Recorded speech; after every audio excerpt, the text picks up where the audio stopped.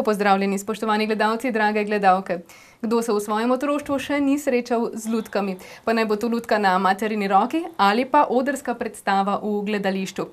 No, svoje lutkovno gledališče pa ima tudi Posavje, saj v Sevniškem gradu domuje Grajsko lutkovno gledališče. No, v naš studio pa smo povabili ustvarjalca v lutkovnem gledališču, lutkarja Bernarda in Snežano Pungarčič, no, z nami pa je tudi kralj Lutkan. Lepo pozdravljeni. Lep pozdrav. No, mnogi niti mogoče ne vedo, da ima Posavje svoje lutkovno gledališče. Že pred leti se je ustanovilo. Kako je prišlo do tega gledališča? Ja, zgodba je malo bolj kompleksna. Jaz sem se z lutkami osebno kot Sevničan prvič srečal, torej ko sem spoznal svojo ženo, ki je, delala profesionalno v lutkovnem gledališču Reka.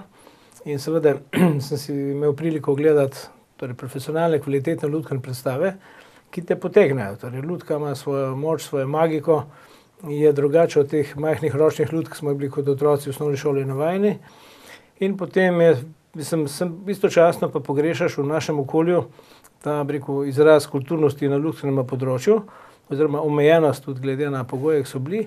No, in pol je pa leta dva tisoč se je Snežana preselila v Sevnico, pol sva si ustvarila družino, ne, in pol so se pojavili pogoji, da ustanovimo eno regijsko ali pa sevniško lokalno lutkovno gledališče. in do tega je prišlo, torej pred tremi leti dobrimi. Torej še malo simbolike. ustanovili smo ga na svetovni dan lutk, to je enaindvajsetega marca vsako leto v bistvu. To je bilo leta dva tisoč deset. No, takrat smo na Sevniškem gradu dobili prostore in smo seveda začeli z gledališčem. No, tudi imenuje se Grajsko lutkovno gledališče. Kakšna je povezava med temi lutkami in gradom? Ja, poglejte, Sevnica je majhen kraj in sem razmišljal, torej kam bi dali, torej lutke, njihovo čarobnost, pravljico recimo. In sigurno grad sevniški, zdaj, ko je dosti urejen in, in, rekel, restavriran, je nekako kar klical po tem, da bi mogoče domovanje imele lutke v enem od stolpov, torej da to pravljico lutkovno tudi damo primerno okolje. Potem sem seveda začel pogovore s KŠTM-jem, ki upravlja z gradom. torej ta vodja grajskih programov kulturnih je Rok Petančič. Njemu sem prvo predstavil idejo, torej je bil za sodelovanje, nam je tudi pomagal in tako smo dobili potem od občine, prostore v, tem zahodno-severnem stolpu. In tam smo začeli potem, torej smo opremili to, pripeljali lutke, nekaj smo jih naredili in tako je začelo delovati naše gledališče. No, lutkovno gledališče, to ni, ni nekaj takega, kot je navadno gledališče. Lutkovno gledališče je posebno. Kakšne so te posebnosti dela z lutkami? Ja, to bi jaz pa prepustil skoraj moji ženi, ona je bolj strokovnjak s tega področja. Pa naj ona razloži te razlike, bolj pozna kot jaz. Pa lutkovno gledališče je zelo podobno dramskemu gledališču, z eno razliko, da je med, igralcem pa publiko en posrednik, in to je naša lutka. tako da, izrazno sredstvo v lutkovnem gledališču je lutka, ne. In lahko bi povedali, da je lutkovno gledališče ena taka sinteza, likovne podobe oziroma te komponente, ke je katera je zelo močna v lutkovnem gledališču, ene, režijske domišljije, bi se reklo, pa te veščine animacije. Evo, to je tako recimo moje videnje lutkovnega gledališča. No, lutka kot ta posrednik med animatorjem oziroma igralcem in občinstvom je nekaj posebnega. Kaj pravzaprav je lutka? Poznamo, kot vidimo tukaj v studiu, različne lutke. kaj je pravzaprav ta objekt, lutka? Mi smo se potrudili malo, da pripeljemo naše lutke iz naše, dežele lutkarije, kot mi rečemo, da se malo spoznamo z njimi. če govorimo, kaj je lutka, lutka je lahko vse. Mi lutkarji gledamo svet okoli sebe tako odprtimi očmi in v vsem vidimo lutko. ne vem, da bi mogoče bila jasnejša, recimo, če ti začneš delati lutkovno predstavo, se odločiš, imaš dva načina, recimo. Prvi je ta klasični, da izbereš, zgodbo oziroma tekst, po tekstu se naredijo lutke in potem, te lutke postaviš v en scenski prostor. Drugi način je, da ti začneš delati predstavo iz materiala. Znači, kaj je poslanstvo lutkarstva, kaj je naša naloga, da oživimo material, da iz materijala naredimo določene like oziroma karaktere. In uh, vsak material, ko vidimo, ima svojo energijo, ima svoje, uh, svoj, bi se reklo, atmosfero in to. In taj drugi način je, da dakle, iz materijala gradimo pol pa take like. Evo, recimo, en klasičen način in drugi, ki je čist nasprotni. Tako da obstaja čak ena, ena veja, bi se reklo, kaj se ljudkari ukvarjajo, uh, imenuje se object theater. To pomeni, da vsak predmet, kaj je, kaj je v vsakodnevnem življenju, uh, kaj ima svojo funkcijo že, mi postavimo oziroma raziskuješ tako, da jih daš v en drugi kontekst in pol dobije, oziroma ga vidiš z enega drugega kota in dobi drugi namen in drugo funkcijo. Evo. Kako pa je z vašimi ljudskami? Ali tudi vi uporabljate te um, objekte ali imate svoje narejene ljudke? Kako jih izdelujete, kdo jih izdeluje, kakšne vrste ljudk poznamo? Pa mi imamo naše gledališče, ima to srečo, da, oziroma, da smo jaz pa Berni partnerji v svojem privatnem življenju. In naše življenje je uh, eno lutkarstvo skozi tema, lutke so prisotne povsod. Tako ko se uh, inspiracija pride, uh, ne vem, iz enega pogleda, iz enega momenta, iz nekaj se prebere in to v redu, želimo zmeraj, ko začneš se vprašaš, kaj želiš, uh, zakaj hočeš to delati, kaj hočeš, kakšno sporočilo s predstavom uh, dati tem, uh, tej publiki. Ne. In je zelo zdaj važna ta, ta neka sinergija oziroma istomišljenost, odnosno nekakšno Usklajevanje, usklajevanje tega, na kakšen način bomo znači, to zgodbo, odnosno to, kaj hočemo pokazati, uh, s tem kreatorom oziroma izdelovalcem ljudke, v tem slučaju pri nas Bernard, uh, pol ustvarjamo ne, skupno. Sodelujemo, da torej, Snežka prevzema režijo, dramaturgijo, to tudi večinoma in potem seveda ona kot režiser ima eno zamisel poteka predstave. Zdaj pa seveda, ker smo majhen tim, imamo še eno stalno igralko in eno v pripravi, torej je treba torej, prikazati rekel, predstavo tako, da so lutke bistveno bolj funkcionalne, ker imamo pomankanje igralcev. In seveda, ko se še ima dogovarjati, torej se tudi odločimo za material, ki ga je najlažje animirati, ki je sam po sebi najbolj rekel, animacijski, najbolj uh, dinamičen, ki v bistvu z majhnimi premiki rok lahko da največ od sebe. Ne? No, in potem, seveda, torej po mojih izkušnjah, če hočemo res, uh, rekel, da niso igravci obremenjeni z animacijo, da ljudka nastaja usporedno za predstavo. Se pravi, ko si recimo se dogovorimo ali pa en drug dobi idejo, potem začnemo potem seveda iskati uh, torej, obliko, malo sceno skiciramo, obliko ljudk skiciramo, potem glasba je zelo pomembna, svetlobni efekti, tehnični efekti, ostali ne posebni efekti. E kot nekako to na grobo sestavimo, jaz potem ponavadi naredim, če se odločim, recimo kot material, mislim, imam zelo rad spužvo, predvsem, mm, ker je poceni, potem pa, torej moramo pač na to merkati. Potem pa tudi, ker ima velike breko, animacijske, torej zelo plastične, da se lepo zvijati, zelo živo deluje. No, in potem naredimo v bistvu m, samo te osnovne figure, forme, brez detajlov, recimo brez dekoracij, in potem postavimo ta držala, s katerimi se ljudke premikajo eno določeno pozo. In pol, potom nastajanje predstave, potom vaj, pol uskladimo, ali je treba en centimeter dati gor ali dol držalo, oziroma sklepe, ki so ena od najbolj pomembnih stvari pri ljudki, vsaj po moje, e, torej kakšne oblike bojo, kako bojo funkcionirali. No, in na ta način potem predstava nastaja, in ko, recimo, ko igralke so zadovoljne, da je ljudka najlažje, bi rekel, bi rekel, se najlažje animira, najlažje gibljiva, takrat potem ljudko pač končam. Ne. To moram reči, da je, to je velika sreča za igralca, animatorja. Zato, ko v gledališču, jaz sem delala v deset let v, v Reki, v gradskem kazališču Lutaka, um, tam dobiš gotovu lutku in se ti prilagajaš lutki oziroma njenim možnostima. In pravim, tukaj je ogromna sreča, da mi sproti, ko nastaja predstava, da, da raziskujemo te možnosti animacijske lutke in prilagajamo pol predstavi oziroma animatorju. Ne. Tako da je lutka narejena res onako individualno po, po, uh, kako igralec sprema njegovo možnosti oziroma kaj v tem momentu lutka uh, mora predstavljati v predstavi. Ne? E, To je potem pravzaprav kar nekakšen proces nastajanja. Ja, Lutke ne nastaja v enem momentu, ampak si Ja. vzamete čas. Ja. E, Koliko časa, recimo, če damo primer, nastaja ena taka lutka? Pa Ja. kako, kako smo rekli, uh, itak nastanje predstave je dolgotrajni proces. To je proces enega umetniškega dela, normalno. Prvo je ideja v glavi, ki ti nekje zori, uh, potem zelo je važna ta lutkovna uh, dramaturgija, kako narediti. Uh, to pomeni, da mm, postaviti lutkovno predstavo, moraš več imeti gotovo v glavi, ko začneš delati.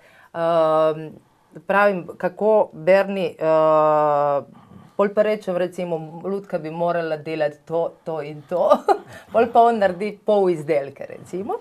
Pol pa gremo na vajo, to je, pravim. In pol pa se vidi, da to funkcionira ali ne funkcionira, kaj je dobro, to zadržimo, kaj ne popravljamo in tako.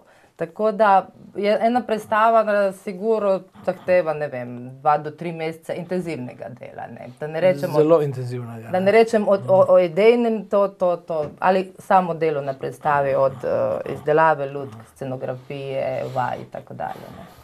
Pa vse lutke, ki jih uporabljate v svojih predstavah, izdelate sami ali imate tudi kakšne od drugot, jih kupite? Ja, pogledajte, prav predstave, ki smo jih v bistvu, ki je Snežana režirala in smo jih naredili, sem v bistvu vse lutke jaz naredil jaz. Te lutke ostale, ki imamo, recimo, kot jih vidite tle okoli, to so lutke iz profesionalnega gledališča, ki smo jih prinesli, da tudi malo, torej ni naše poslanstvo samo izdelava predstav, je tudi mogoče ena vrste propagiranja lutkarstva in pa tudi predvsem eh, edukacija mladine. Uh, jaz vem, da recimo tako velike lutke, ki so po profesionalnih gledališčih, recimo Ljubljana, Zagreb, uh, verjetno marsikateri otrok v naši okolici še ne videl. In pri nas ima možnost, da se spozna z lutko, torej z eno tako res mislim, umetniškim delom.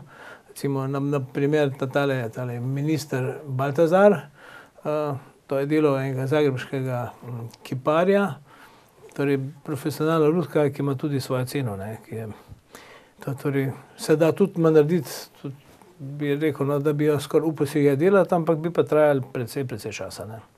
No, torej, spoznali smo ministra, pa če bi mogoče predstavili še nekaj ostalih lutk, ki ste jih danes prinesli ti pokazati. Ja, minister je ministr kulture, moramo reči, v naši državi Lutkaniji, to je pa na, naše veličanstvo, kralj Lutkan. Uh, vsak otrok, se, ko pride na Semniški grad in spozna našega kralja, si sigurno zapomne, zato ker je taki en dobrodušen lik iz našega lutkovnega stolpa. No, po, potem je ta naš prašiček, evo, Mogoče da istočasno povem, uh, kakšne so to lutke, oziroma kakšne tehnike, vrste lutk. Tipi Uh, lutk. Ne. ja, uh, to je namizna lutka, uh, prašiček iz predstave uh, Tri prašički. Evo, uh, namizna je zato, ker se animira na mizi. Evo, takole, sicer uh, animator stoji ne, in je miza ali pult, kako se reče, in uh, ta lutka pol pa lahko tukaj hodi, lahko se usede, lahko se uleže, evo takole. Tako. V glavnem njen uh, delovni, odnosno scenski prostor je miza. Takole. A ga Ja, ja, prosim. seveda, seveda. Takole.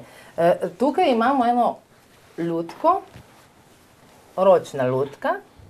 Ta lutka je, mislim, za otrocima znana kot takva. E, ročne lutke drugače se delijo na prsne lutke, te poznamo še iz vrteca, si izdelujemo, kaj se na prst damo. Pol pa je taka ročna, kaj nataknemo na roko. Tako je ta tri prsta, grejo ta zmeri v glavico, evo takole. In to je naša čarovnica, evo. Takole živijo.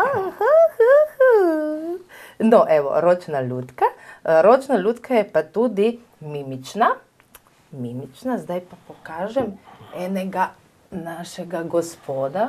Ga predstaviš? Eh, Njega smo prinesli zato, ker je, evo, glih lutka v nastajanju, ena od faz. Eh, Mimična je zato, ker o, zelo, zelo ima možnost odpiranja, a se vidi to, no, tako.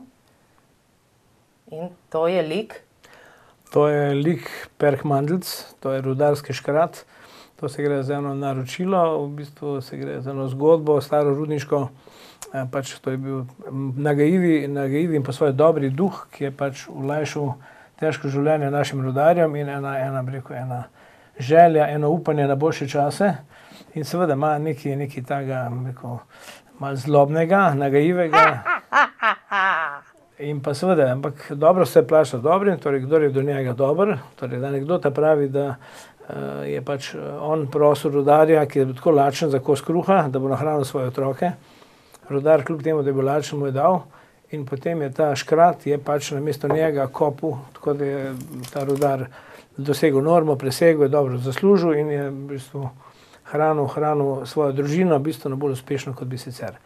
To je slovenske pravljice, ampak torej pol izdelek, to je komi za, za začetek, pride še ostalo. No. Takole. Evo, tukaj imamo še našega grdega račka, to je lik iz naše zadnje predstave, grdi raček, evo, takole, tudi namizna lutka, kot smo rekli, a ne, evo ga, in se on takole giblje.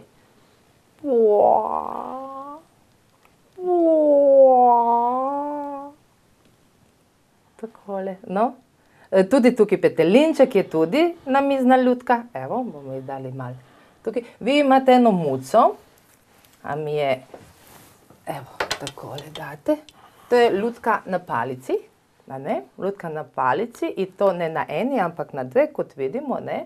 Te lutke, uh, ročne pa lutke na palici so najbolj uporabljene recimo v, kaj delajo v šolah te predstave, so zelo bliske uh, tej starostni dobi, recimo do prva triada ali uh, vrtec in ona zahteva en uh, ta scenski prostor, paravan rečemo, ne ena crna zavesa, kjer se pol pa animator ne vidi, ampak so lutke uh, iznad paravana. Evo, ta muca je tako zelo gibljiva, zmeraj so te lutke na dveh palicah, kakšne kače ali gusenice, zelo gibljive, imajo te zglobe in lahko so akrobatke, delajo ne vem kaj čemu. Evo so zelo zanimive otrokom po, po se, posebej. Tukaj pa še, recimo, jaz bi še predstavila, za malo prostora naredimo. Uh, reče se, da je kraljica lutk marioneta. Marioneta je lutka na nitkah. Uh, tukaj naš medvedek je ena posebna vrsta marionete, sicilijanka jo se reče, zato ker ima eno šipko, ki je fiksirana uh, v glavo. Evo, razlika med vsemi lutkami je ta, uh, zdaj, da smo imeli animacijo, kaj je na vzgor, marionete, jaz sem dala zdaj na mizo, ampak se drugače animira, da so na tleh. Ne. Evo, sem da pokažemo, kako taj naš medvedek, opsa, gu, gužva je, evo, hodi in tako je nabiro te jagodice, a boste eno vzeli jagodo? Ja, vzamte, tukaj so. A ne gre, seveda, da ne gre, če so to čarobne jagode. Samo mi lutke lahko jemo, a ne? No, evo, lutka na nitkah marioneta.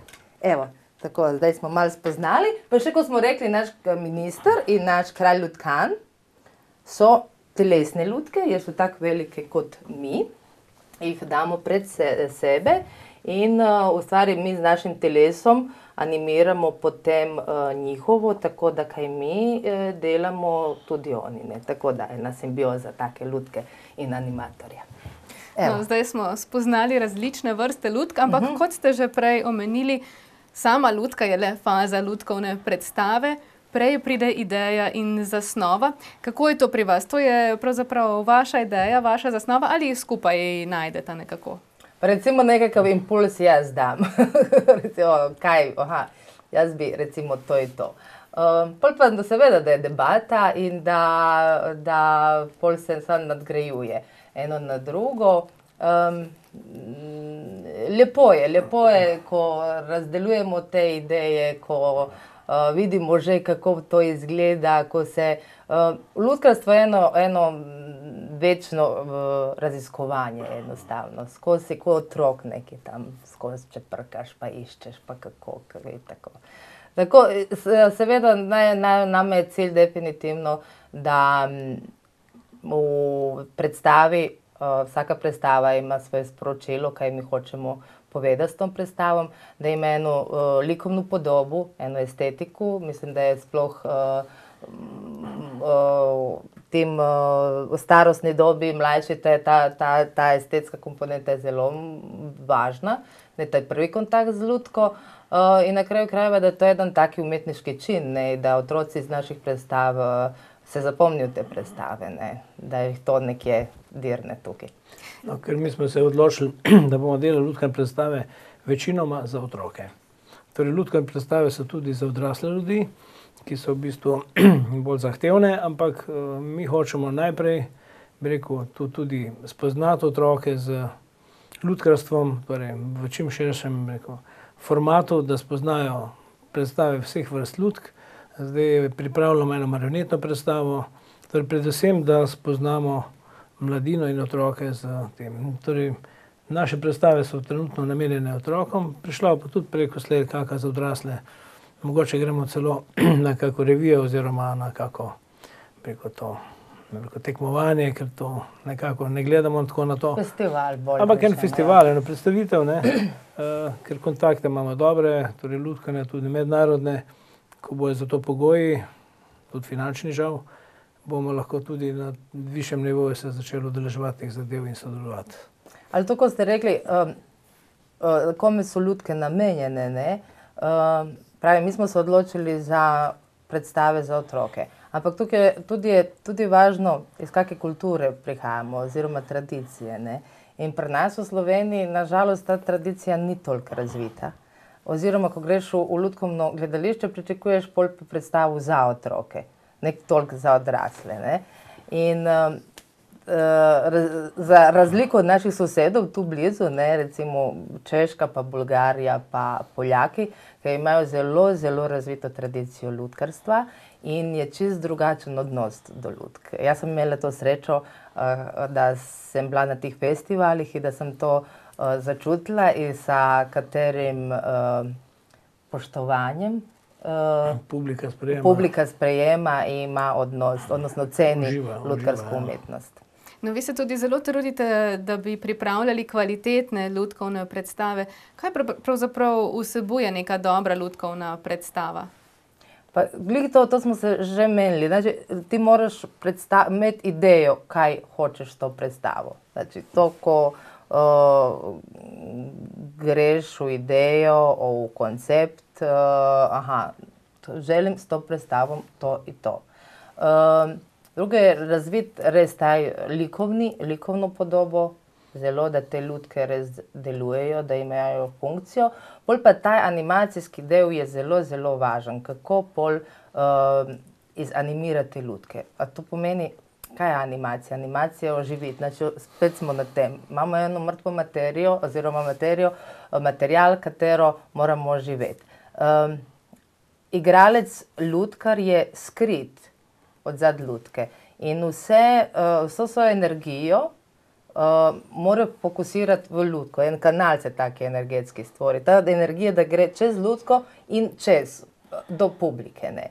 In zdaj uh, čarolija, eh, č- čarovnija, Čarovnija. je v tem, ko se, ta, uh, uh, ko se ena celota naredi vsega tega. To pomeni, da da se celota naredi iz artikulacije, recimo teh uh, govornih, uh, govora samega animatorja, v animaciji, znači v gibanju in pravimo v tej energiji, ko je nekakor gre iz lutke, iz igralca, ko je anonimen, od zadaj lutke do lutke in na publiko. Um, veliko govorite o energiji igralca. Ali je lahko vsakdo igralec, verjetno mora imeti kakšen poseben talent, kako se recimo tisti profesionalni igralci, kako bi se znašli v vlogi lutkarja, ko niso oni na sceni. Ja, to je zanimivo. Treba, ja, to, jaz vem, da je a, bilo par poskusov dramskih igralcev, da se probajo v lutkovnem, ampak hitro so videli, da je to, da je to zelo zahteven, uh, zahtevno delo in da ni tako enostavno, kako izgleda. Ne. Sploh, če si predstavljate, da ti, ko si na odru kot igralec, imaš pa več način izraza, imaš svoje telo, ne? imaš ne vem, svoj obraz, svojo mimiko, imaš tudi svoj glas. in svojo energijo na kraju krajeva, kot celota. Ne? Um, lutkovni igralec je Anonimen. anonimen od zadaj, znači lutka je ta primarna, ki gre v prvi plan. In um, pravim, in koncentracija pri lutkarju mora biti zelo, zelo, to, mislim, da zelo discipliniran. Zelo disciplinirana bi rekla, da je ta veščina, in uh, s tem, da v animaciji mogoče v en, enih vrst lutk tudi sodeluje več igralcev. Tako da recimo jaz bom rekla, ene bunraku lutke, ene, ki prihajajo iz a, Japonske, m, tam anim, eno lutko animirajo tri igralca. To pomeni, da taj, ko govori tekst, animira glavo in desno roko, drugi animira levo roko in tretji animira noge. In sad si predstavljate, kako je sinhronizirano mora biti njihovo delovanje, da to izgleda uh, lepo, bi se reklo, ne, Živo. čarobno, živo. Ne? Um, tako da pravim, tam odzad vi, publika vidi lutko, tam odzad, tam nekje v temi, odzad te kapuce ali tila, ki mi imamo, je, uh, se svašta događa, bi se reklo, in ta uh, disciplina oziroma točnost animacije in uh, te artikulacije oziroma glas, kako gre, mora biti zelo, zelo točen. Drugače se greška takoj vidi. S tem, da recimo, ko je rekla Bunraku lutke, recimo animator, ki animira glavo. To je življenjsko poslanstvo. Ti, da animiraš glavo, si prej deset let animiral noge, pa mogoče potem 15 let levo roko, in potem, ko si res, res dober. Ja, pol si Torej, mojster, ko Ja, ko si mojster. To je. Japonci so znani po, po, po svoji torej, ultra, ultra eh, bi rekel, perfekciji v določenih stvareh tudi. Ampak pol pa je savršenstvo to, kaj se vidi. To, torej, za naše kriterije bi rekli absurd, ne? ampak očitno ni. Ne? Japonci so pametni narod. Um, rekli ste za naše kriterije, kako pa je pravzaprav pri nas? Uh, kakšni so naši kriteriji, kakšne so naše sposobnosti, kakšne so naše predstave ljudkovne?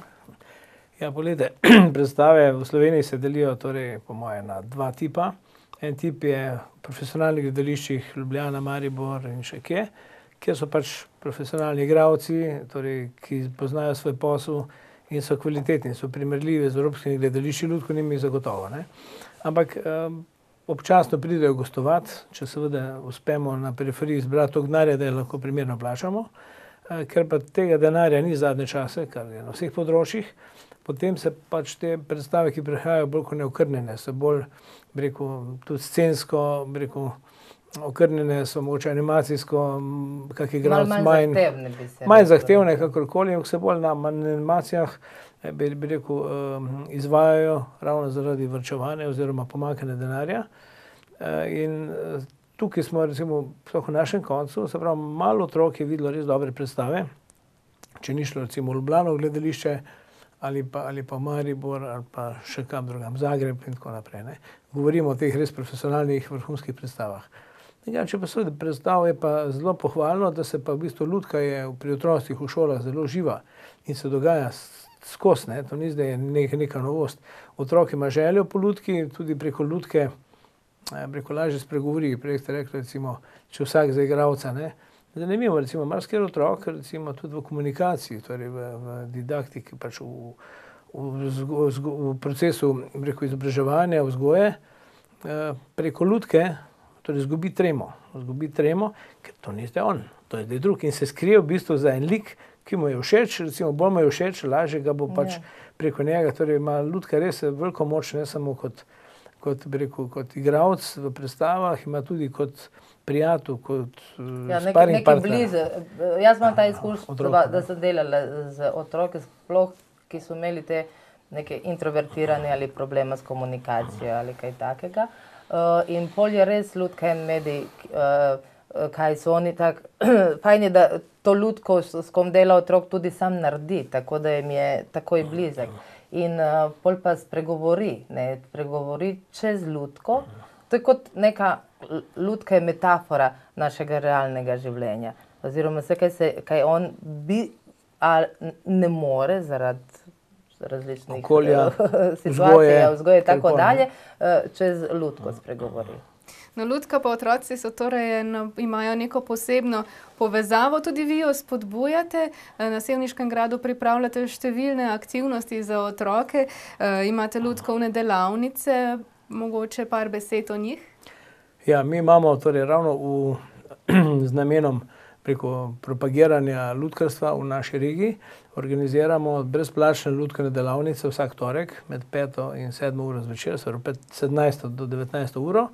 Eh, Vabljeni vsi otroci, eh, kjer spoznavajo lutke, spoznavajo proces lutkovne predstave, izdelujejo lutke, torej razno razne od otrok, od torej starih 5-6 let pa do, eh, rekel, konca osnovne šole. Seveda tudi zdaj smo nekako, rekel, ustanavljamo eno tako otroško lutkovno skupino kot nek podmladek, ne, pač nekega dne upam, da bo šlo gledališče malo naprej z mladimi silami eh, in bojo svojo predstavo naredili. Torej, se dogaja, res torej, škoda, da v bistvu več otrok tega ne koristi, sploh pa iz Posavja. Torej, Sevnice še pride, celo iz Radeč, iz Hrastnika, recimo pogrešamo pa ravno, bi rekel, Krško Brežice, ta dolenski del, ker vem, da si želijo, se konec koncev, res da nekaj kilometrov je, ampak kar otrok pa odnese s seboj, mislim, da je več vredno kot pa, kot pa bi rekel, tistih nekaj litrov bencina ali pa časa, ki ga za otroke posvetimo. Ne. No, otrokom je namenjen tudi projekt Sanjam o grajski lutki, tudi aktivni ste. Imate tudi posebno sobo, eh, kjer so notri izdelki otrok na to temo. Ja, pogledajte, to smo pa mm, že pred ustanovitvijo gledališča, smo dobro razdelali, torej komu je namenjen. Namenjen je otrokom, eh, da to znanje, v bistvu izkušnje prenesemo na mladino. In seveda, eh, otroci so, bi rekel, mm, bolj vizualno verjetno odprti, kot smo mi odrasli. In zato sem razmislil, da paralelno z tem lutkovnim delavnicam, z predstavami, ki jih delamo, ki gostujejo okoli, naredimo še eno, rekel, aktivno rekel, udeležbo otrok v samem procesu torej oživljanja in nastajanja lutkarstva v naših krajih. In sem si to torej izmislil nekak projekt, vse slovenski in to bi bil, imenuje se Sanjam o grajski lutki. In to smo šli v dogovor z različnim osnovnim šolam, da so pač četrti, peti, šesti razred, eh, so naslikali slike ali pa risbice na temo Sanjam o grajski lutki. Zakaj grajski? Ker je gledališče na gradu, eh, ker je grad, rekel, ena taka pravlična, rekel, atmosfera, ena ideja. No in do zdaj je bilo 14-15 šol se je odzvalo, se je odzvalo tem našim, rekel, spodbudam in smo tudi naredili vse 15 šol, smo posamezno kot razstavo v naših prostorih predstavili. Vsako leto na Svetovni dan lutke 21. marca imamo pa seveda eno tako zbirno razstavo najboljših razstav iz tistega leta, ki so tudi tisti mesec potem na ogled.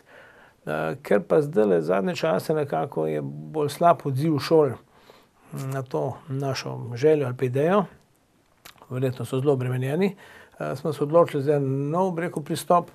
Torej bomo zadnji vikend v septembru, ko se šola že začne, istočasno tudi zaključek grajskega poletja na gradu Sevnica, bomo naredili slikarsko kolonijo za otroke.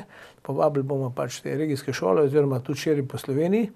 E, torej, začeli se bomo, mislim, da okoli 9. ure, potem si bojo po krajši, rekel, taki zakuski ali pa zajtrku majhnem, si bojo gledali lutkovno predstavo, potem bojo pa likovni material, nekaj bo prinesli seboj, nekaj bojo dobili, bojo ustvarjali celo dopoledne, torej verjetno pod vplivom te predstave, ali tudi druge lutke bojo na razpolago. Med njimi bojo hodili animatorji z lutkami, da bojo otrokom spodbujali fantazijo in bojo slikali. In te slike bojo potem, rekel, ena baza uh, naših razstavnih eksponatov, ki bojo seveda otvoritev bo na gradu ob zaključku grajskega poletja, to bo, mislim, da je to 29. Uh, september, če se ne motim. Sicer bo pa ta zbirna razstava potem potovala po vseh osnovnih šolah, ki so sodelovali rekel, v našem projektu, torej, da se bodo tudi uh, širom Slovenije lahko otroci ogledali, kako otroci gledajo na lutke, kaj jim pomenijo. Istočasno je nam to tudi informacija, kaj želijo videti, kako doživljajo. Mislim, da se od otrok lahko veliko naučimo, kot oni od nas. Ne. No, um, predstavili smo aktivnosti na gradu, predstavili smo lutke, nič pa še nismo povedali o vaših predstavah. Katere predstave ste že naredili, koliko pravzaprav letno premier pripravite, kako poteka ta proces, kaj lahko vidimo, če pridemo k vam na predstavo? Ja, Zaenkrat imamo v teh treh letih uh, naše, uh, so nastale tri, tri predstave lutkovne. Uh, prva je predstava, predstava o naši sevniški voščenki, Cesarsko jabolko, avtorska predstava, uh, za katero smo hoteli uh, to naše sevniško voščenko mal izvleči tam nekje, kjer so vsi za, so pozabili na njo ne, in da malo ozavestimo. zgodovine. Ja, da ozavestimo naše korenine. Ne. Evo, to je sevniška voščenka, druga je, evo, mi ga daš malo, to je naš uh, Čiči iz predstave uh, Trije prašički, to je po mojem svima znana predstava, ne, jedan zelo česti volk. Tako da uh, predstava evo, kaj je namizne lutke, volk igramo, volka igramo v živo z lutko, kaj je naglavna lutka, ne kot maska. In uh, ovo letošnja premjera je bila Grdega račka, bistvu lanska, Eh, lansko letna. Točno, ja. Eh, Sezona ja.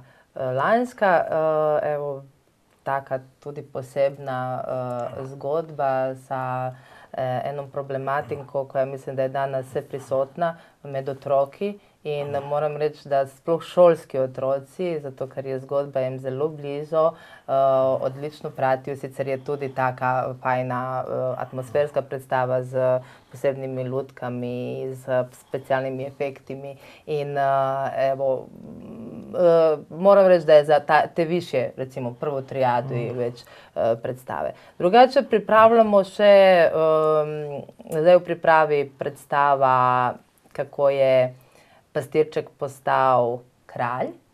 Uh, planiramo eno mini formu marionetnega gledališča narediti, to pomeni v tem prostoru našem, ko pridejo manjše skupine, da jim še v tem grajskem duhu odigramo še eno predstavo, kaj bi uh, bilo tako zanimivo za pogled. Pa sploh v tehnika marionet mislim, da je zanimiva za vsakega. Seveda, da so uh, ideje za drugo leto, za drugo sezono.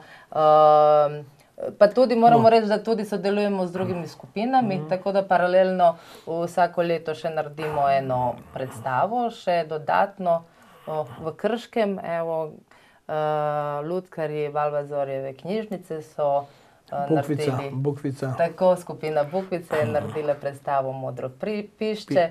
Uh, pod mojim mentorstvom Berni je izdeloval lutke, evo, sodelovanje se nadaljuje. Pa tudi, tudi pomagamo recimo, drugim, ko nas zaprosijo za pomoč, torej pri izdelavi lutke za nasveti, pač odvisno, kaj rabijo, kako želijo. Ne.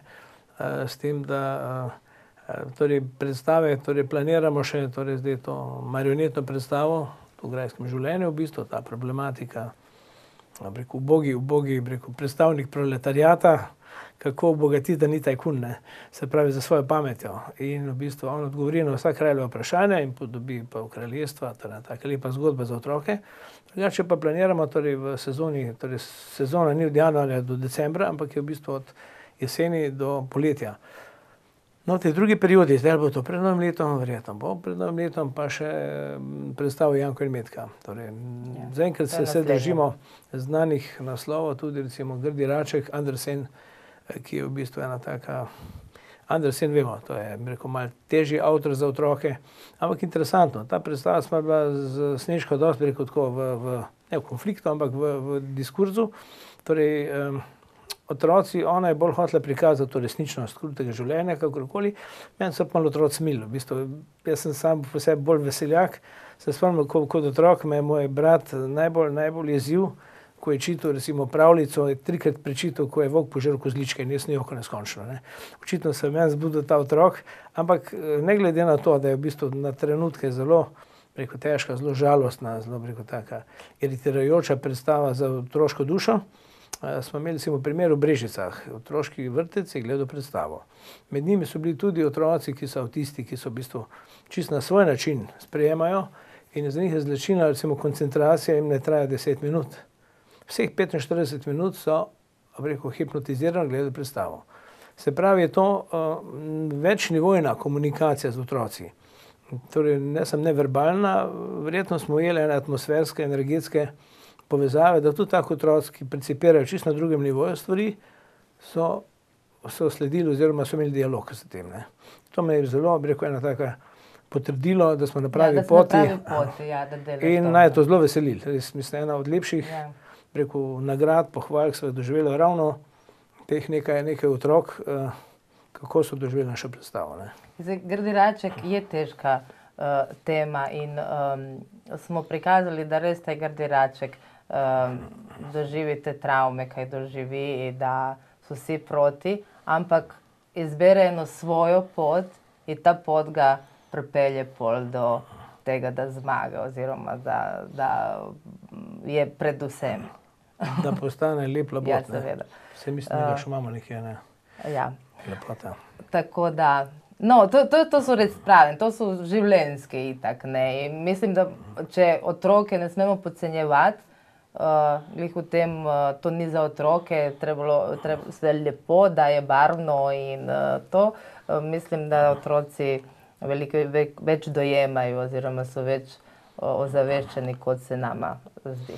No, ravno tle bi se vmešal, je ko je rekla, torej tudi te teže vsebine, recimo Andresenove in tako naprej, mogoče ravno to, to, to morbidnost ali pa to, to, to tragedijo življenja lahko nekako olepšaš z likovno rešitvijo, torej vesele barve, nasmejane forme. Mislim nekako, da no, to je ta kombinacija, to je en večni dialog v bistvu, kaj ti čutiš, eh, kaj bi rad povedal in spet, da ne šokiraš, bi rekel, otrok in tako. No. Tako da zanimivo, zanimivo delo je zelo.